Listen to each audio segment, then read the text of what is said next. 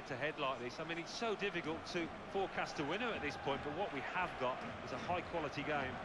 It looks as though the game's... He's in here! Ronaldo! He strikes a goal! Well, that is the goal, and the first maybe of many here in this match.